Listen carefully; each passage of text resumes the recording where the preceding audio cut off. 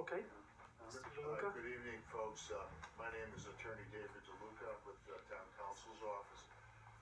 Pleasure to be here tonight. Um, uh, What uh, you have is a, uh, an open meeting law complaint that was filed uh, on uh, April 5th, 2020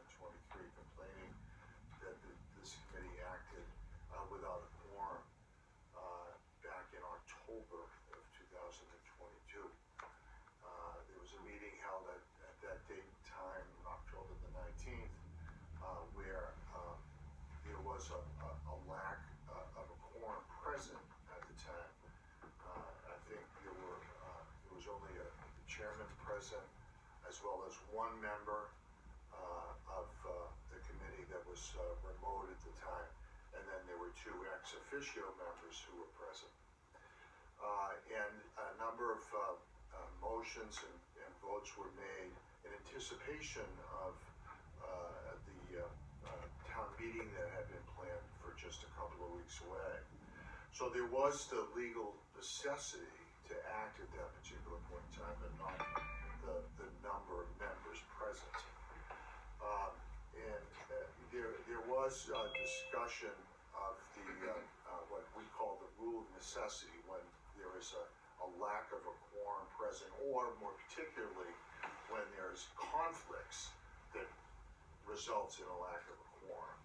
Uh, it, sometimes is necessary, uh, to act even in the absence of quorum, and that's what happened. So, uh, uh, the complaint was made, uh, and the first problem we found with the complaint was really frankly one of timing. Uh, the, the open meeting law requires that, complaints be made within thirty days, of the alleged, occurrence. In this case, it was several months later. Um, if the meeting was in October, complaint being made in, in, in April, it was obviously more than thirty days late. So, in my proposed response, with copy of which you have there, um, that's really the, the first defense, if you will, uh, that I provided on behalf of the town. And then second, I had, I, I went into a discussion of the, uh, the rule of necessity and how it was that that was, uh, put forward, uh, in this case. Uh, this is, uh, again, required that, uh, the board hear the complaint, uh, uh, consider the complaint that's being made, and, and also, uh, to authorize town counsel, my office, to respond on your behalf, uh, if that's, uh, the board's pleasure. So, uh, that's why I'm here, uh, to answer any questions you might have about the complaint and the proposed response. I have questions, Chair. Yes, please. Um, I watched the meeting, and at no point in the meeting was there a discussion about rule of necessity. When did that discussion take place? Uh, I, th- I'm not sure if it happened, uh, either before the meeting or, uh, I know that, uh, I provided some verbal uh, or the oral advice to, uh, the town administrator sometime prior to the meeting. Do we have the minutes of that meeting that specify Uh, that, uh, the rule was invoked? Well, no, I don't, I don't have the, uh, the minutes of that meeting, but, um, I do have a memory of, uh, having provided some advice on the rule of necessity and how it works. So Um, for clarity, that was a phone conversation. form aware. It happened before the meeting took place? Correct. That's the only way the meeting could take place is with that guidance.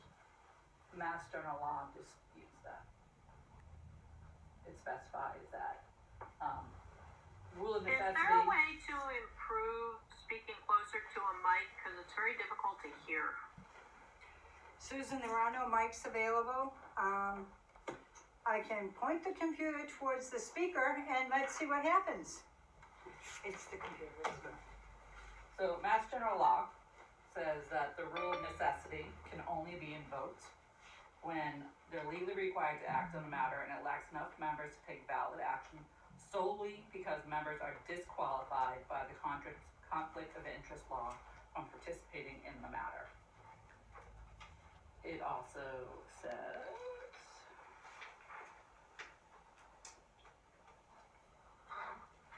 Um, it has to be discussed in the meeting or noted in the meeting minutes as to why the rule of necessity was invoked. Um, and I'm not finding, you yourself just said that none of that happened. Right, right, I, So we, in my mind, we are in violation of an open meeting law. Granted, she's outside of that thirty day time frame, but it was still violated. well, I, look, uh, I, I don't wanna argue with you about your determination on this. I did find some guidance that said that, that, that notwithstanding the, the, the condition, and I'm not gonna dispute with you, there is a very, uh, clear condition that, that the, the, the rule may be invoked when there's Is someone speaking? Okay, David, could you Yeah, speak up a little Right, bit? right, sure, the, the, the, uh, as a precondition, uh, that, um, uh, when there's a lack of quorum, the precondition based on disqualification due to a conflict of interest. I did find some, uh, some contrary advice, uh, uh, on this point, that it may also be applied when there is a, a lack of, of of, of available voters. So I, while I agree that that's the, the, the standard, I did find, uh, some guidance on, on this that, that made it at least ambiguous. Uh, so I've taken a position, um, that, uh, it, it's still nonetheless, uh, while I agree, best practice, that, you know, if, if we're gonna invoke the rule of necessity, yeah, it needs to be on the record, and, and usually it's a- applied when there's a disqualification. Uh, But uh, I, I think in, in this case, there was uh, the overwhelming legal need to take action at that time. There is no possibility that you could have called an emergency meeting for the following day when everybody I- could have been Again, available? that- that's not my call. Um, Well, no, that's your you- I'm just, I was on the board then, so I can't, but I'm just going by what, it's on the state website, under conflict of interest and rule of necessity, necessity, necessity regulations, so. Yeah, cause I think from my perspective, looking back on that, I was not able to attend that October nineteenth meeting, but, you know, pulling that special town meeting warrant, eh, we had another almost thirty days to, to meet again, right? I know the warrant closed and, so that was my, I was having a hard time understanding why we couldn't meet later on, um, even the next day or the following week. Um, and plus these, these seemed like they were more of just moving money around more than necessary, you know, Well, it, the, the, the, again, from my perspective, or at least as I understand the case, um, there was, uh, the need to act at that particular night because the town meeting that was gonna be happening a month later, uh, the warrant was, was being prepared and distributed the next week. okay. So that's why. So it was a time, it came down to Right, timing. It was a timing thing. Okay. Um, I, I'm not sure what we can necessarily do in this situation, um. I I think it's, you know, a lesson learned and we're getting guidance from the, from the counsel and, you know, I'll defer to guidance from the counsel. I mean, the other thing too is that we do have an open seat, uh, for a citizen at large on this board, and it's imperative that we fill that position, because again, I think we were maybe put up against the gun for the fact that we didn't have a full board, so it's just getting it out there to everybody, knowing that this is on HCAM as well, that we do have an open position for a citizen at large that would be critical to filling that, you know, in future years going forward, so we do not have the same situation.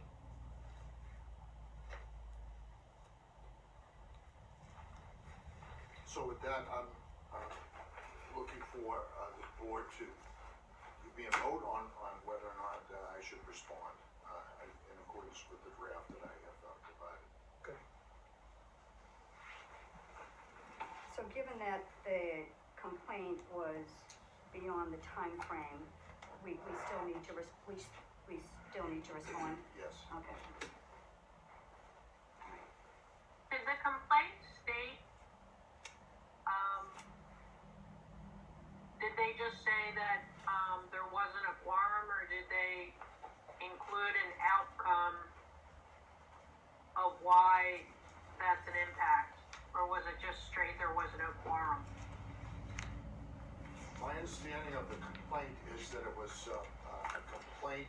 Like, did the, did the complaint say something was voted on and it should have been voted on with a quorum and here's the adverse impact of not having the quorum? Or was it just, there was no quorum and so the meeting shouldn't have been held? Yeah, it's the, the, the latter, that there was a lack of quorum and that the meeting should not be held. There was, there was no allegation, uh, that, uh, there Does was the question adverse make sense? action. Correct. I'm sorry, I can't hear. Thank you. I can carry it over to you. Okay, I'm, I'm close to the mic, can you hear me now? I can. Yeah, yeah. Very clearly. Yeah, so the, um, um, I, I said that, uh, your statement, uh, the latter is correct. That, uh, the complaint is simply that there lacked a quorum and that as a result of that, uh, that the action taken, uh, uh, you know, should not be legally recognized. There was no allegation that, uh, any of the action taken was, uh, either, uh, adverse, uh, in any way to the town. Thank you. Okay.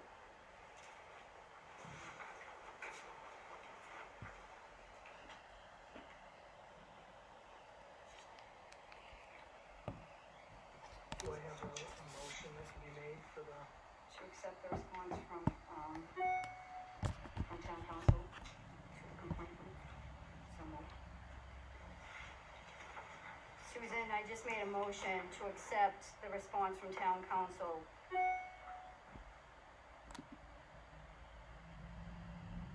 Can you hear me? oh, you're muted, Susan. Very little. Okay, let's try this again. Nancy, speak up. So I made a motion to accept the response from the town counsel to the complainant. Second. All those in favor?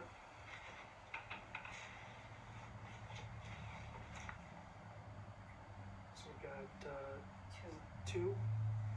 I'll, I'll be third. So, uh, right now we've got three and out of your, no, okay. So it's three, uh, versus one, three, one. Majority.